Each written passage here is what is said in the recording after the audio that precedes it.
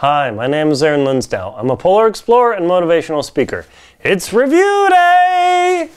Today I'm going to review the Exped XP9 or 12 or whatever it is. Is this the ultimate expedition mattress in super cold conditions? Let's find out.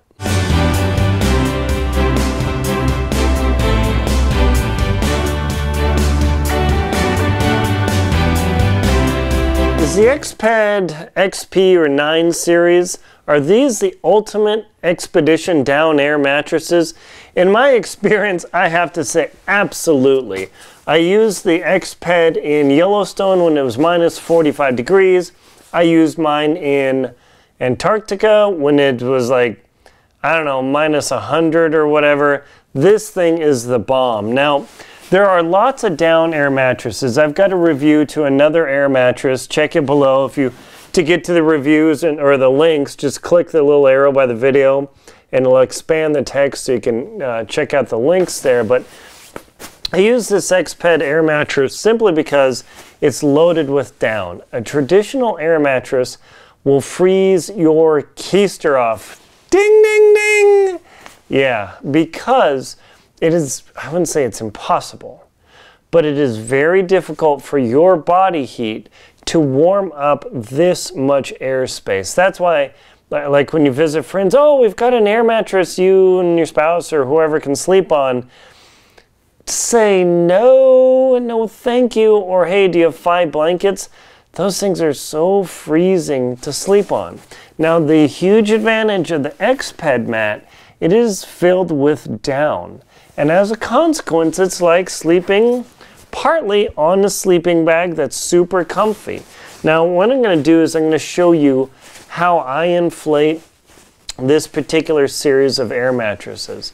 Exped now makes two versions. Mine has the integrated foam pump where you push and it, it, fills up. And then the other has a separate bag where you pull out the bag, you put it on the nozzle, you, you, you open up and mush down the bag. And then that inflates the mattress. Now the key to all expedition type air mattresses is you do not want to, under unless extreme circumstances, blow them up with this your pie hole, your mouth. Because when you're trying to go and blow up that air mattress, what's going to happen is that your hot air, you know, your blabbing gets in there. That's not a big deal. But that, that hot air that you put in there overnight when it cools down will shrink. But more importantly, by blowing up that air mattress with your breath, you exhale a lot of water. Like this thing here, you know, you drink from it. Ah, that's good. But have you ever done the fog test on a mirror or a window, you know, or your glasses? You know, and then you rub it, all that moisture on there. When you're breathing out of your lungs, you exhale a ton of water, and that will get in this bag and down pad. And as a consequence, you will get the down wet. And what happens to wet down? If you didn't know, it fails to insulate. Even though down, I mean, these sleeping bags are the ultimate down, is the best insulating material on earth, still bar none. It has an ultimate weakness. If it gets wet, it does not retain body heat. So therein lies the trouble. So, about this mattress. The Exped mat, and you'll see this guy right here. And this is the Down Mat 9. It's the same thing as XP, they just keep changing the names. Uh, it is, this is what I used in Antarctica for three months. It is the bomb. Now, I'm going to put links below to this mat and the other version with air. Uh, just, just check it out below. And also, if you could support this channel, just hit the subscribe button. That helps me keep this going, keeps you me bringing information, motivation, travel tips, expedition material, uh, talking about books. Yeah, th this uh, huge, you, you, just by subscribing to this channel, you help me bring out this book. By the way, I talk about air mattresses and sleeping pads in this book along with Dr. Terry Williams. We talk about all the different aspects of sleeping and eating and maneuvering and camping in this book. There will be a link below in the video as well, so you can just check that out. If you've ever wanted to do a big backpacking trip or an expedition up a mountain, ski across Antarctica, you know, and then just normal day stuff, this book has everything you need to get started in it. So before we roll this out, because once I open it, it's a, kind of a process to get it mushed back in, I'm going to weigh this mattress just so you know how much it weighs. We're going to turn on my handy dandy scale here. Oh, you probably can't read it, and that's okay. I'll just tell you what the number is. And that's in grams. And that is 1 kilogram, 24 grams. This is 2 pounds, 4 ounces. Now, for me, that is an insane amount of weight. 2 pounds, 4 ounces. Here, wait, let's. Oh, wait. Here, hang on. Check this out. I can lock it and hold it if I was really slick. And then I can hold it up, and yeah, there you go. Two pounds, four ounces. Now, for me, that is a crazy amount of weight. I, and like two pounds, four ounces, that's more weight than my summer backpack. But when you're going to extreme climates like Denali or Everest or Kilimanjaro, no, not Kilimanjaro, or the Arctic or wherever, and you're laying on this block of ice that's like a mile thick, you're going to freeze your booty off. So you've got to have something really serious. I don't like carrying the weight, but not being able to sleep and freezing at night is far worse. Don't you agree? So what we're going to do is we're going to take this bag out, and this gets this very sexy hexagonal type fabric. It's just basically nylon. And what I do, th this is one of the key tricks to these types of air mattresses, as soon as you get your tent up or your tarp up or whatever, is you want to get your air mattress, whether it's a Thermarest, whether it's this thing, you want to get both valve ports open. Now this has two ports. One is the inflation guy. Now this is kind of hard to open. And inside there you'll see a little bit of foam and you'll see why that matters in a moment. But also I open the deflate valve and what that does is it allows the loft and the air mattress to actually expand. And so if you can do that, the moment you get in your tent, and also when you get in your tent, make sure you open up your sleeping bag because you want this thing to loft up as much as possible. If you leave your sleeping bag squashed until the moment you're going to want to go to sleep, you're going to freeze because that down has to take time to expand. And just like in this air mattress now it's not going to it's not going to expand that much but nevertheless it does expand some and saves you some work. Now one of the thing about these uh, air mattresses here is this this uh, the out valve has to be absolutely clear of anything. Uh, during my expedition I would get little feathers in there and at night, the mattress would slowly, slowly deflate. It's very frustrating. That, that's the thing about this is you must make sure there are no fibers, no fabric, no anything because uh, just the design of this type of hole, it's not a screw down type, that just wipe it off and wipe it off with your lip moisture there. Get that sealed up. You can hear it click and it stays incredibly sealed. And then the same thing with this, the inflator, you want to make sure that it stays sealed. Now this design is totally cool that it has an integrated hand pump to air the mattress up. So what I'm going to do is I'm going to zoom in and I'm going to show you how this works. It's pretty slick. All right, so what we're gonna do is we're gonna zoom in. I'm going to add a little more light to the situation. There we go. Good. And what you do is there's a little valve here that prevents the air from coming back. But what you do is you put your palm right here on the air mattress and you push down.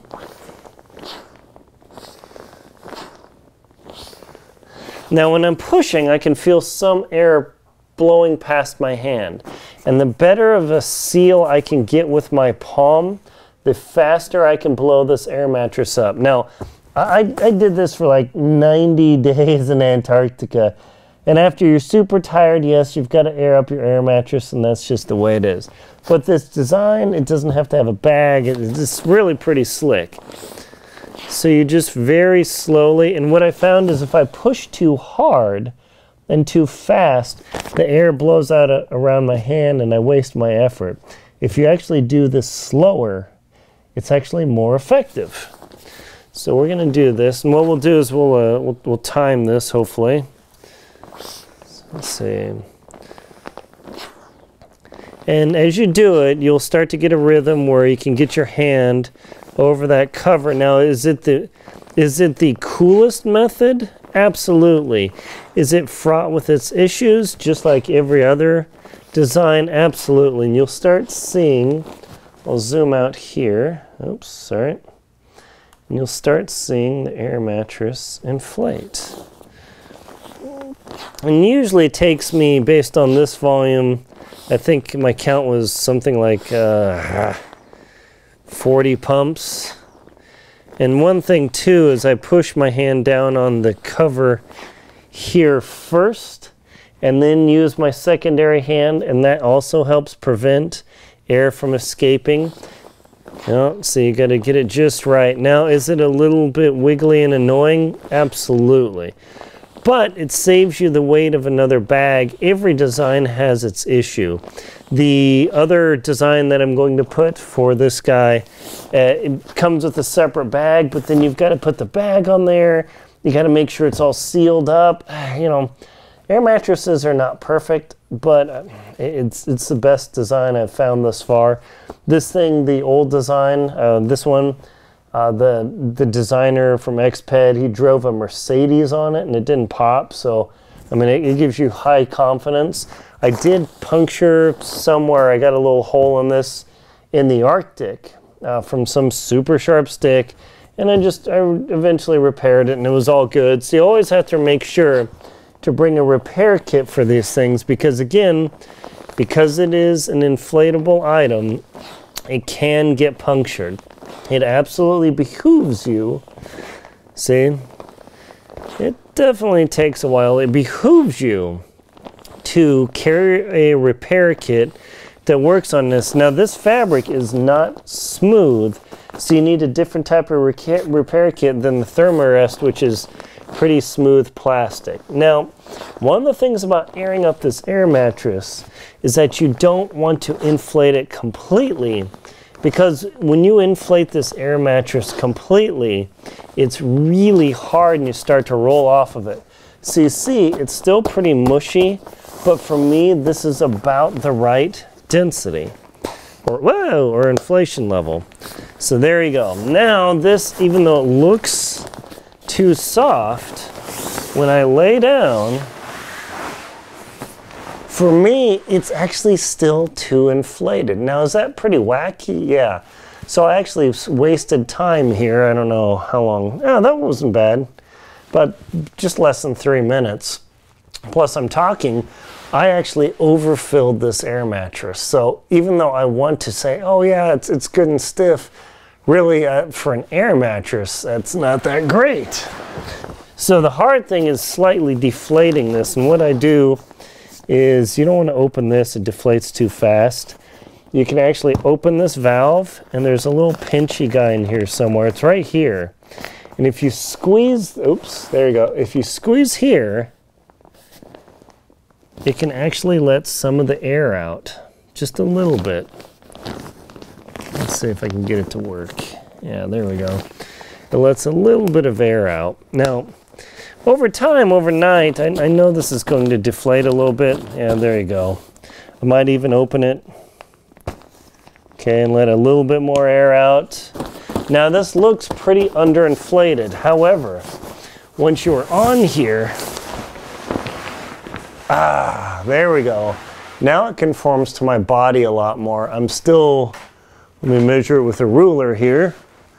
I'm still three inches off the ground, and this is literally how I slept on three miles thick of ice in Antarctica for three months looking as sexy as this. That's right. In fact, there's a picture of me at the South Pole there. You can see me right there. So totally legit.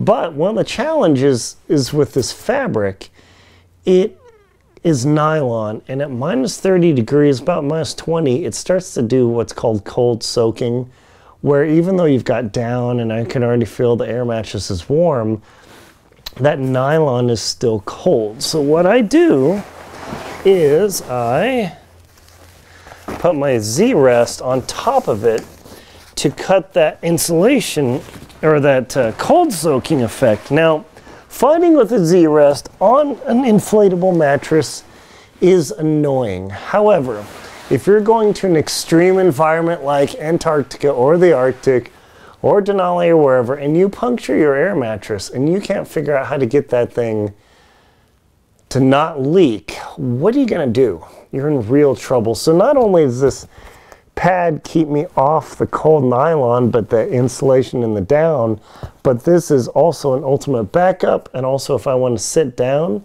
I can just sit on this pad and not have a problem. So there you have it. I've got uh, was, you know, ruler again. This is almost four inches of insulation off the ground. I could literally lay here when it's minus like minus 80 degrees outside with a raging storm, minus, uh, 100 wind chill on a chunk of ice that is literally miles thick and snuggle in my sleeping bag, which I will now put on me just to show you that it does fit.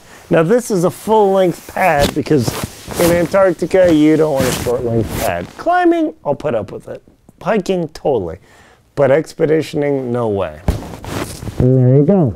So, the Exped mat, uh, definitely love it. Highly recommend it for extreme conditions or if you sleep super cold. This thing is awesome. By the way, I don't receive financial compensation or free pads or whatever from Exped. I just post these videos because I've got quite an experience in expeditioning, as you can see by the book there. I keep talking about the book. Yeah, sorry, I'm just kind of proud of it. And that way you know these are honest reviews and I'm not just getting this stuff and putting it out there because it's fake. My name is Aaron Linsdau. I'm a polar explorer and motivational speaker. Please like and comment on my video. You know, scroll down. Hey, throwing steel around here. Scroll down to the bottom, leave a comment, give me some ideas for other video. And also, please hit the subscribe button. That helps support my channel. Hey, check that out. Uh, hit the subscribe button. That helps support my channel. Uh, please, was it, uh, oh yeah. please support my channel on PayPal, Venmo, and thank you very much for watching. Happy expeditioning. Enjoy the experience.